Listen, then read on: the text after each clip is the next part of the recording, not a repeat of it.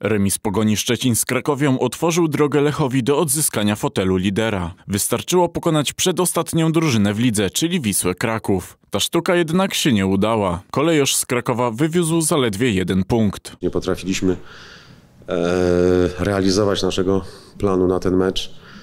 E, nie potrafiliśmy dłużej utrzymać się przy piłce, szukać wolnych sektorów, zmusić po prostu Wisłę do większej jakiejś takiej e, obrony, defensywy. Nie potrafiliśmy takiego naszego rytmu, który zwykle łapiemy, e, zaprezentować w tej pierwszej połowie.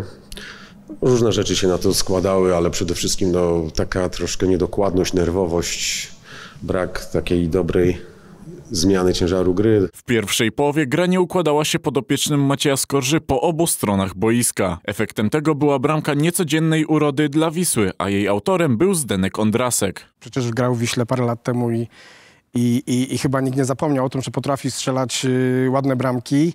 Ja tylko przypomnę, że on bodajże 2-3 minuty wcześniej miał świetną okazję, że naprawdę Lech miał wtedy dużo szczęścia, tam nawet pachniało bramką samobójczą, jak strzelił wzdłuż bramki kilka, kilkanaście centymetrów obok słupka. W 43 minucie jego strzał odbił się od słupka i wylądował w bramce Filipa Bednarka. W drugiej połowie Wisła ponownie umieściła piłkę w siatce, ale ta bramka została anulowana. Ratunek dla kolejorza przyszedł w doliczonym czasie gry. Wyrównującą bramkę piętką zdobył Milić. Antonio Milic na pewno może żałować, że ten gol pada w takich okolicznościach, bo oczywiście okoliczności mimo wszystko są wyjątkowe, no bo jest to e, gol e, strzelony w jednej z ostatnich akcji, na, e, na, który powoduje, że jego zespół nie przegrywa meczu, ale wiemy jakie były okoliczności tego spotkania, wiemy jakie były oczekiwania i tak naprawdę gol Antonio Milicza, tak jak powiedziałeś, powinien jako latać w internecie obecnie, a gdzieś tak przechodzi bez echa. Bez echa, bo remis 1 do 1 nie satysfakcjonuje żadnej ze stron. Lech nie odzyskał fotelu lidera, a Wisła pozostaje w strefie spadkowej.